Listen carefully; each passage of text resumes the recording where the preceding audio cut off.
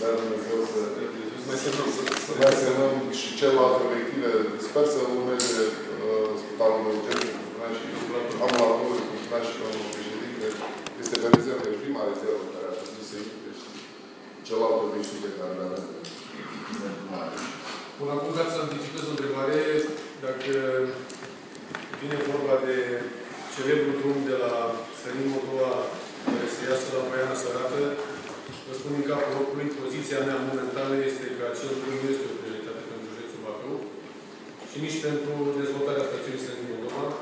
Este un drum care este estimat la o valoare aproximativă de minim 20 de milioane de euro. Am făcut un studiu de finalitate în acest sens.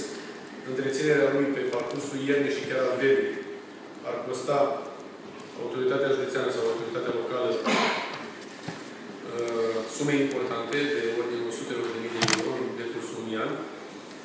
Și în, kilometri, în județul Bacău, în continuare, mai sunt 200 de km de drum județean și aproximativ 500 de km de drumuri comunale care uh, merită a fi reparate capital și modernizate chiar și înainte de acelui obiectiv.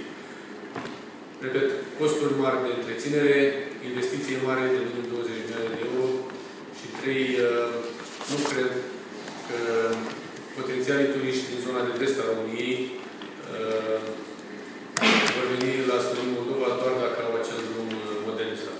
Dacă chiar doresc să vină la Sfântul Moldova, poate să vină prin Mănești, prin Burna.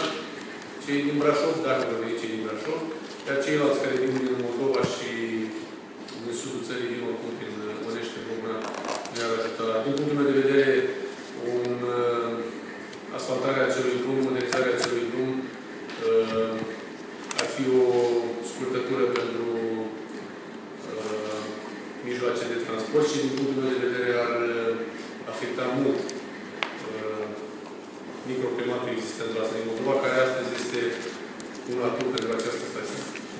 Întrebări din partea noastră și pentru